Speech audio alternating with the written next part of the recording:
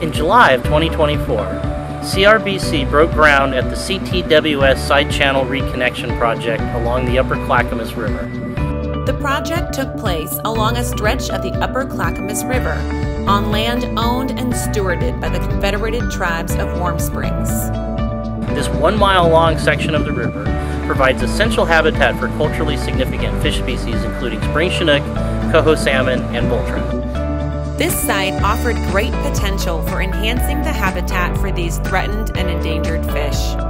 The site had also been heavily impacted by years of unauthorized public use of the private property, and this project will help mitigate that damage and prevent further degradation. To restore these important habitats, we reconnected several historic side channels to increase floodplain and off channel habitats. We sourced large wood, which had burned in local wildfires, to install in and around the channels and floodplain areas. Large wood is an important component for the creation and maintenance of salmon habitat in our local rivers and streams. It creates complex habitat with areas for fish to hide from predators, rest, and feed.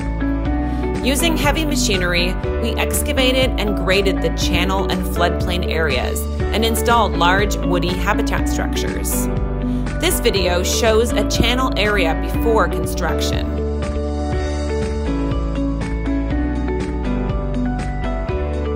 You can see the excavated channel here in this video of the same location. Juvenile salmonids benefit from off-channel areas where there is slower water and increased food abundance. This project, funded by OWEB, National Oceanic and Atmospheric Administration, and the Confederated Tribes of Warm Springs, will increase biodiversity and climate resilience we nearly doubled the amount of side and off channel habitat at the site, placed 500 pieces of large wood in the river and floodplain areas, and we will be replanting the site with over 20,000 native trees and shrubs.